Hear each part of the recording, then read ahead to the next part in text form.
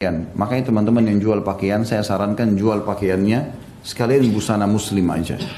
Sekalian baju-baju muslim, ya. Kecuali baju laki-laki mungkin lah ya. Kalau baju perempuan yang terbuka-buka, antum jual di pasar. Kemudian datang orang yang dasarnya terbuka juga begitu. Datang beli, antum bisa panen dosanya karena dia akan pakai jalan-jalan nanti tuh. Ya.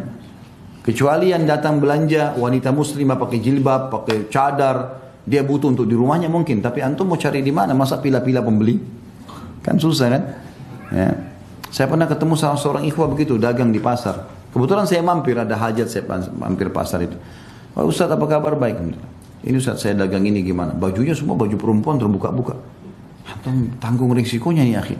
Kalau ada yang masuk di sini pelacur, lewat, perempuan terbuka memang dasarnya terbuka orang langsung antum jual sama dia pasti dia akan pakai lagi di jalan ini dosa